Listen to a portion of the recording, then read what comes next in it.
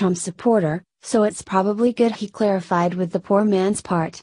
You don't want to lose the Don King vote. If you're one of those nattering nattering nabobs of negative feedback when it comes to Trump's social media accounts and whether or not they're presidential, I have just one question is the characterization accurate?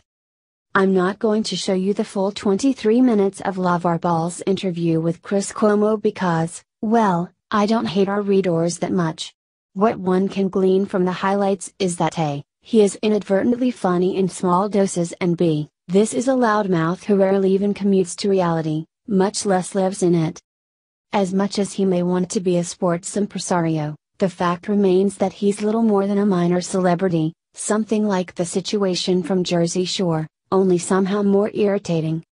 The poor man's Don King? That's almost too kind for him. But it's still funny, still funny.